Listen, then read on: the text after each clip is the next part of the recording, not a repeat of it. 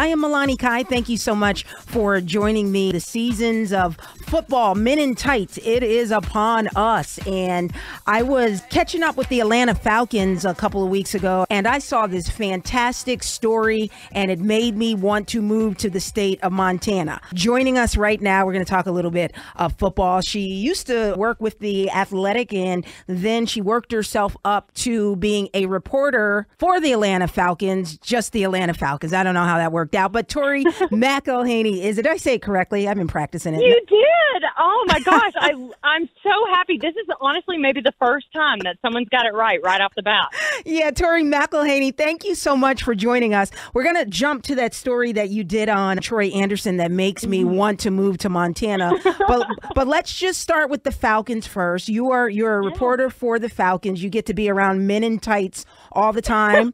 I'm a little jealous of you. However, let's just preview the Falcons real quick. The upcoming game Friday. Are they playing the Dolphins preseason? Sure are, yeah. What are the Falcons looking like while you're there in camp? There's some excitement buzzing. What's the vibe happening? Yeah, no, I so I've been covering this team since 2020 and and I'll say this, you know, this is my fourth training camp and and two of the four have been, you know, COVID protocols and all that kind of stuff.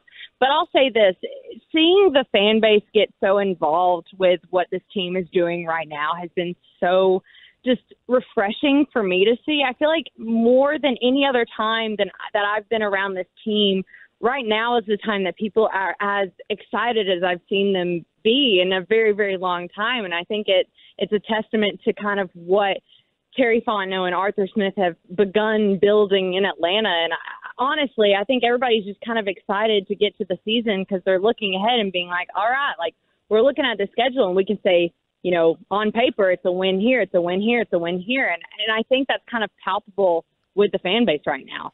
We're talking to Tori McElhaney. She's a reporter for the Atlanta Falcons, just making me jealous and whatnot. Uh, so let, let's talk about the, you, you talk about that excitement, and it's always there. Uh, Atlanta Falcons fans sometimes feel like the excitement sometimes is there and there's a letdown. What looks different aside from the vibe? What technically looks different is the is the quarterback situation. You know what's happening is the line, offensive line look better, defensive line. What looks better for you as you're watching this that that gets you more excited than you were past years? Yeah, yeah, no, that's a good question because I think it's the totality of the team that they put together. I mean, for the first time in what feels like probably over two years, this this front office has had money to play with towards the salary cap, and they've been able to put money back into the defense and go out and get guys like Calais Campbell and David Onyemata and Bud Dupree and Jessie Bates the third. I mean, I could go on and on, but they've really invested heavily into some of these really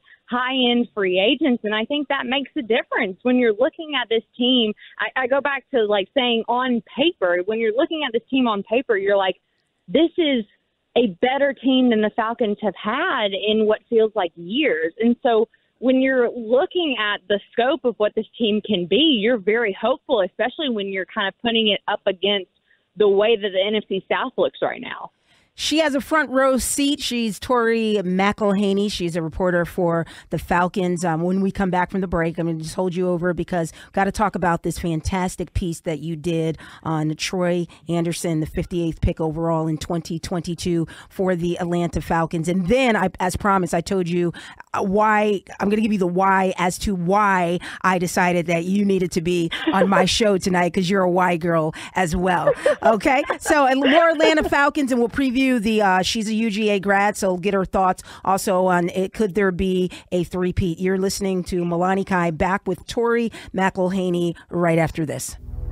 It is 8:45 on a Saturday evening. You're listening to Malani Kai live on 95.5 WSB. We are talking all things uh, Atlanta Falcons with Tori McElhaney. She is a reporter for the Falcons, by the Falcons, all things Falcons, UGA grad. Thanks so much for being with us again, Tori. I'm glad you're here. Good to talk football with another woman. Oh, it's so great. I love it. And you're no stranger to football. Your dad grows. Uh, you grew up with 17 years uh, of uh, your life. Your father did. Is that when he was coaching high school football? So you were around it Yeah. the whole. Yeah. You wanted Oh, to play. yeah. Did you ever want to play? Oh, of course. I, I told my dad I wanted to be a tight end for him, but he was like, I don't think you're tall enough. so we're, we're, we're, talking we're talking Falcons. Falcons open up this Friday uh, preseason, and Tori will be covering that. Make sure you follow her on social media. She gives great reports, and one of the reasons she's here is I saw this. Two reasons. One is we'll talk about that in a second, but the for one reason is she did this great piece on Falcon, the Falcons' 58th pick Troy Andersen. Uh, I remember him um, when he was in the four when he was uh, in the combines and he ran a four four two. What's he about six four? What's he about six three? Oh six, yeah, four? he's he's six six two six, six two, two six, six two. Yeah, six two six three. So that was a big deal. So you decided to do this piece, uh, d- uh, develop that for us. How did you decide to go to Montana, which he played for Montana State, to do this long uh, piece that's just fascinating? Yeah, no, this is one of the most special pieces that I've ever gotten to work with. And it, it was a group of about five of us. We had three videographers and um, one photographer, and we went up there and we kind of just told his story from start to finish. This is a kid who grew up on a cattle ranch in Dillon, Montana, a population of like just over 3,000. And, and to see where he came from and to see what a guy like this means to the state of Montana, which honestly doesn't have a lot of NFL players in the league right now. I mean, it, it was truly something special, and it it was so great because we would go to like coffee shops and the baristas would see that we were wearing Falcons gear, and they're like, "Do you know Troy Andersen?" And we're like, "Yeah, no, we're here doing a piece on him." So it was one of the most fantastic trips that I've ever been on in my career for sure. And it's and, and it's a beautiful piece. You can go find Tori, find it. Uh, you can go to AtlantaFalcons.com. It's it's on there. Her last name is M C E L H A N E Y. Uh, you can find it, but you have to watch this piece, even if you're not a Falcons fan or a sports fan. It's just the beauty of Montana that you and the mm-hmm. photographers were able to bring out. So of course we're going to be watching Troy there, but it's about what 23 minutes. It's a great piece. Yeah, no, it, it really is. And to be able to capture the beauty of, of this landscape, you know, I'm a Georgia girl through and through. I, I'm from Georgia. I lived in Georgia. I work in Georgia. So to be able to go up and see that kind of snow, because we went up in March, and so it's about 17 degrees, and we're out on this cattle ranch and yes. freezing our butts off. we had the absolute best time, and I really hope that when people watch this, that they they see how much the story kind of even means to us to be able to tell it. Tori is a UGA graduate, speaking of, as she said, and a week from now, not a week, a month from now, on September the 7th, it's Tennessee Martin versus UGA. You did cover UGA for some time too. Is there a mm-hmm. possibility, mm-hmm. as you talk, listen, as the people who are listening to you on the home of the Bulldogs, where all the games are, is there a possibility that we'll see a three-peat?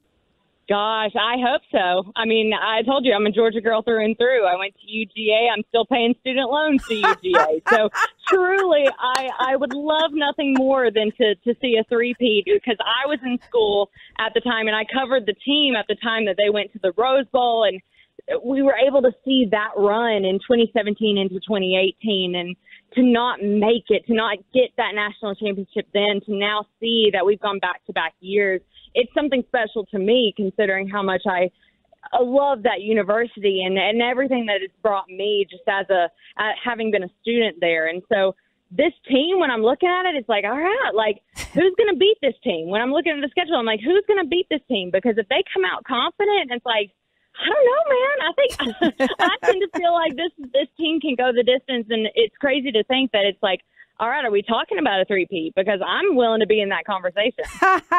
yeah, well, I think it's a cookie. I don't know if they paid uh, Tennessee Martin $5 billion to play this first game, but yeah, well, that's the first one that's coming up. And you can hear that here on the home of the Dogs 95.5 WSB. Before I let you go, Tori, I promised you I would tell you, aside from your great coverage of the Atlanta Falcons and that incredible piece you did on Troy Andersen that I encourage everybody to go watch, one of the reasons why the second reason I knew I had to have you on is because finally somebody gets it. And this is what I mean.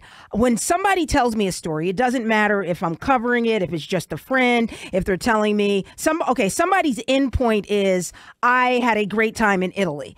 And so mm. I've got to ask questions. I want to know, hey, why were you there? Why, why, why? Why did you stop at that coffee shop? Why didn't you exchange the money? And people get mad because I always ask why.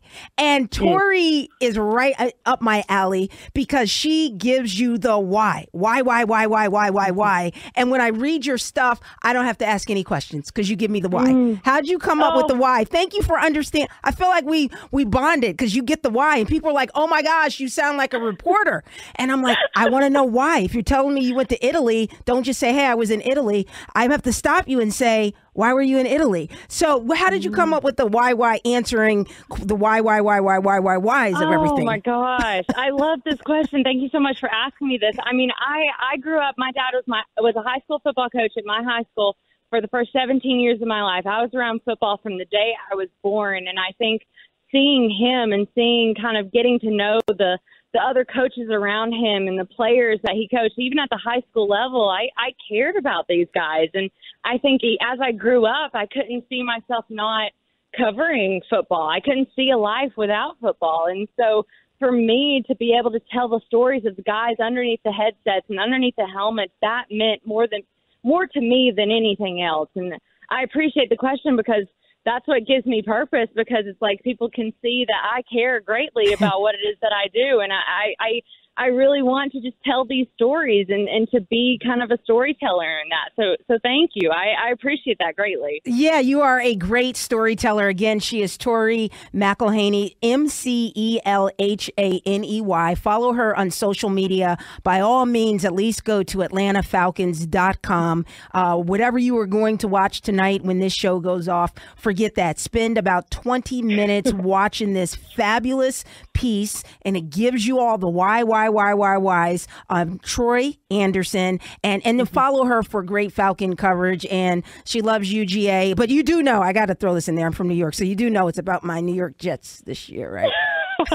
you know, I'll, I'll, give that to you. Everybody has their allegiance. It's all good. It's all good. I respect it.